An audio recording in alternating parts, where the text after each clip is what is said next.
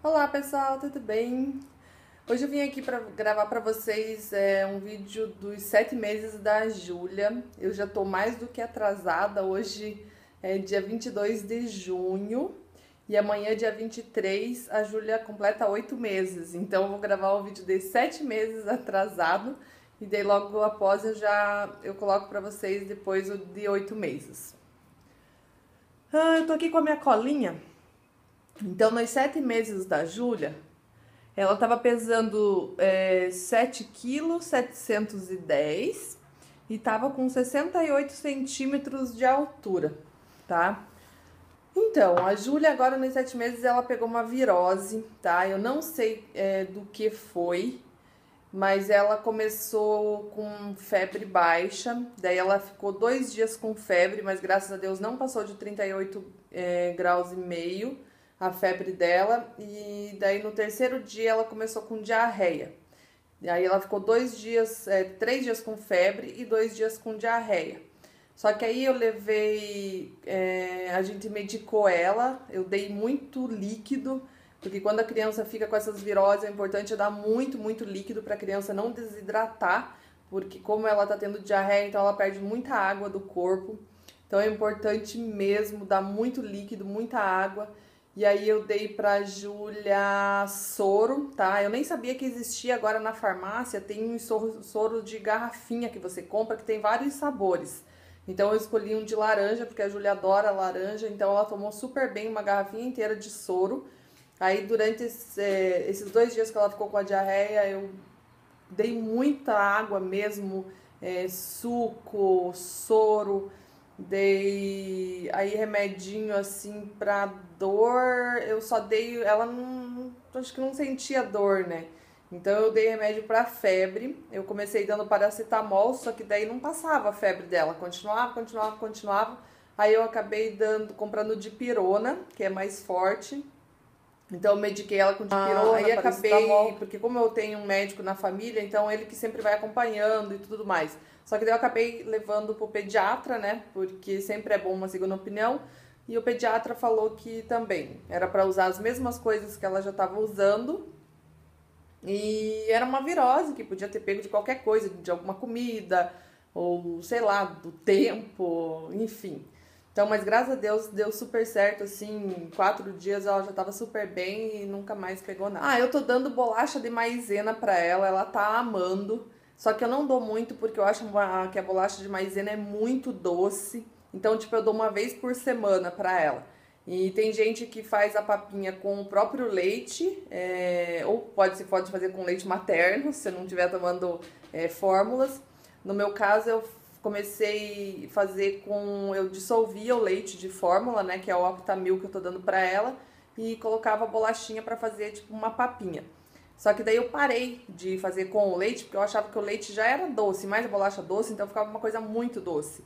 Então eu pego, tipo, três bolachas Marias, aí quebro ela bem assim e coloco um pouquinho de água. Aí ela amolece bem e a Júlia ama de paixão. Então eu comecei a dar bolacha de maisena para ela uma vez por semana. É, teve muita gente me perguntando se eu tava ou não dando janta para Júlia. Então, nos sete meses com a consulta na pediatra, eu comentei ela falou: Não, Ju, você pode começar já a introduzir a jantinha para ela.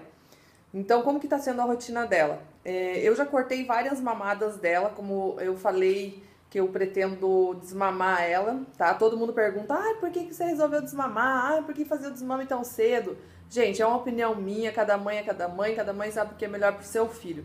Eu, mãe da Júlia, decidi que a Júlia vai. Eu vou desmamar ela até uns nove meses tá? Então eu tô começando aos poucos, devagarzinho, sem prejudicar eu e nem ela. Então eu tô cortando algumas mamadas. Então é, a refeição dela ficou a seguinte: ela acorda, o principal é, café da manhã dela é o leite materno. Aí ela come frutinha lá por umas 10 horas, aí meio-dia e meio, uma hora ela almoça. Aí ela come frutinha lá de tarde de novo. Aí na mamada das quatro eu substituí por mamadeira, dela toma uma mamadeira. Aí eu dou um leite materno novamente para ela no período da tarde. E a mamada da noite para ela dormir, eu tô dando a mamadeira. Tá? Então ela tá tomando aí duas mamadeira janta aí no meio, então é muita comida e é muita refeição. Então automaticamente a gente acaba deixando, né, um pouco do leite de materno de lado. Então ela toma aí as refeições, daí tem os líquidos nos intervalos que eu dou, suco, água, chá, aí tem as frutas, depois tem jantar. Então eu cortei algumas mamadas realmente tá dando muito certo, né? Que como eu falei no outro vídeo, ela aceitou super bem o Aptamil e ela toma 120 ml de Aptamil, ela não toma mais que 120. Então tá sendo essa mais ou menos a rotina de comida dela. É, as frutas eu continuo dando nos intervalos também, as mesmas que eu já dei lá, não experimentei nenhuma diferente assim para falar para vocês se ela gostou ou não. Continua sendo ah, as mesmas. Ah, eu fiz gelatina ela adorou, não sei, tem gente que fala que pode dar, tem gente que não que fala que não pode dar, mas eu só fiz duas vezes a gelatina, fiz de morango e dei para ela assim dois dias seguidos e ela amou a gelatina. E eu acabei não fazendo mais depois. Ah, tá saindo dente. Ó, até eu trouxe aqui, eu coloquei lá no Instagram. Isso aqui é do caderninho dela que ela tem, que ela faz das vacinas e tudo mais. Acho que toda mãe deve ter esse caderninho, né? Eu coloquei lá no Instagram isso aqui, ó. Dos dentinhos. Até tem aí quem quiser olhar lá. Então, como os primeiros dentinhos saem entre 6 a 9 meses. E a Júlia vai completar 8 meses amanhã. E eu percebi que tava bem branquinho assim. Aí ontem ela tava irritada, irritada, ela mordia tudo. Aí eu peguei, ela pegou meu dedo e foi morder meu dedo e eu senti as serrinhas do dedo dela, dos dentinhos dela no meu dedo. Daí eu falei pro meu marido, falei, olha, corre aqui que a Júlia tá, com tá saindo dentinho, né? Daí a gente olhou assim, tá aparecendo as serrinhas do dente. Ai, que lindo. Então minha filha está ficando mocinha. Ai, que fofa, tá saindo dentinho. Então, mas essa é a idade que geralmente sai nos bebês de oito, nove meses, às vezes sai com seis meses. Aí tem mamãe que fica desesperada, ah, mas meu filho tem 10 meses e ainda não saiu o dente. O dente funciona assim. É, se você vê que o teu filho está com 10, 11 meses e ainda não apontou os dentes, o que, que, é importante? É importante você levar no odontopediatra ou até mesmo no seu dentista, desde que ele saiba lidar com criança, tá? Que, como eu já fiz um post falando, é, você não precisa levar especificamente numa odontopediatra. Você pode levar em qualquer dentista, desde que ele goste de criança, tá? Porque se a criança traumatizar uma vez no dentista, ela vai chorar o resto da vida e nunca vai querer voltar no dentista. Porque eles assustam com os jalecos brancos, com as toucas, óculos do, dos, é, dos profissionais, tá? Então é importante que a primeira consulta você só leve para conhecer, para o dentista conversar, bater papo. Aí na segunda consulta ele começa a ver, né? Então, caso não saia os dentinhos, que você vê que o bebê já tá lá com 10, 11 meses e ainda não apontou os dentinhos, é importante você levar no dentista. Ele vai avaliar, às vezes até mesmo tirar uma radiografia para ver se esses dentinhos, é, qual a posição que está, tá? Se é, está nascendo, se não está nascendo. E aí ele vai falar para você quanto tempo mais vai demorar. Tá? Então, caso você note que está levando muito tempo para sair, é melhor você levar para fazer uma é, as descobertas da Júlia. É, ela já tá parando de pé, assim, quando a gente coloca ela no chão, ela já para sozinha, só que claro, né, eu tô o tempo todo do lado, mas eu não forço, porque a gente não pode ficar forçando as perninhas deles também, que cada criança tem o seu tempo. É, ela já tá sentando sozinha perfeitamente, só que ela tá levando altos tombos aí, só que eu sempre coloco na superfície super macia. É, porque ela tá sentadinha, como ela tá sentando sozinha já, só que claro, às vezes ainda eu coloco almofadas em volta dela, almofadas grandes. Só que às vezes ela tá tem um brinquedinho meio longe dela, ela quer pegar aquele brinquedinho dela vai, vai, vai assim, aí tuf, cai. Esses dias ela caiu duas vezes de cabeça. Ainda bem que, né, na superfície que eu deixo ela é muito macia. É... Mas também a gente não pode assustar a criança. Ai, meu Deus do céu, né? Senão o bebê é isso, ele vai se descobrindo, ele vai cair mesmo, e muitas vezes, né? Até aprender a andar e tudo mais. Então, ela tá querendo agatinhar já. Quando eu coloco ela de bruxo, ela já vai querendo se arrastar assim, ela já consegue erguer os bracinhos super bem, já consegue erguer a bundinha. Então eu acho que daqui mais um mês, tomara, assim, tô torcendo que quando ela fizer nove meses que ela já esteja gatinhando. Uh, tá super inteligente, a gente brinca com ela muito, assim, esconde-esconde, ela adora, ela fica procurando. É, já tá, agora ela já tá entendendo que, como ela tá comendo várias, né, é, refeições e tudo mais, então ela já tá entendendo super bem. E com tudo que eu vou comer, ela chega a tirar a chupeta da boca e para tudo que ela tá fazendo e fica assim em mim. Tipo, mãe, me dá, né? Então, às vezes, quando eu tô comendo pão, por exemplo, eu acabo dando uns pedacinhos de pão assim pra ela e ela. LW, tá eu só dei pra ela aquele melão que eu mostrei pra vocês, fiz o um videozinho.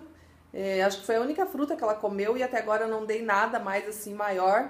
Ah, o meu sogro falou que ela já podia comer bolachinha sozinha, né? É, tipo, de maisena, essas coisas. Só que eu dei pra ela uma bolachinha e ela acabou meio que engasgando. Então eu fiquei com medo e eu não dei mais. Aí eu só dou na papinha, igual eu falei pra vocês. É, mas eu quero começar agora, que ela vai fazer oito meses, né? Então, quando ela tiver aí com os, agora daqui pra frente, eu vou começar já a oferecer coisas sozinha. Eu quero ver se eu compro ervilha é, natural, sem ser enlatada. Eu fui no mercado, mas não encontrei. É, para eu fazer refogadinho para ela e para ela ir pegando os grãozinhos sozinha e comendo. Porque isso é muito importante para a criança aprender já a ficar independente, né? E e estimular bastante a mandíbula para ela começar a mastigar. Então, gente, mas é isso, tá? Então, dos sete meses da Júlia foi isso que aconteceu. E agora entrando aí nos oito, eu sempre gosto de gravar vídeo no final que ela completou, porque daí eu tenho o mês inteiro para ver as descobertas dela, para contar as coisas para vocês. Então, quando tiver no finalzinho dos oito meses dela, eu venho aqui gravar o vídeo para vocês. E ah, daqui quatro meses a Júlia completa um ano. Meu Deus do céu, como tá passando o tempo. Imagine, a minha filha vai fazer um ano então, já, dia 23 de outubro ela vai fazer um aninho e eu já. Agora que eu vou começar, tá? A ver os negocinhos da festa dela. Eu já decidi o tema, porque foi uma coisa assim que eu pensei muito e eu não quero fazer nada desses negócios de modinha, tipo da Froze, galinha pintadinha. E, então eu resolvi fazer da Mini Baby, porque eu sempre amei a Mini. E é uma coisa que nunca saiu da moda e eu acho lindo. Até depois eu vou postar as fotos aí para vocês verem no Instagram, mais ou menos do que eu quero ver se eu encontro igual das fotos que eu encontrei.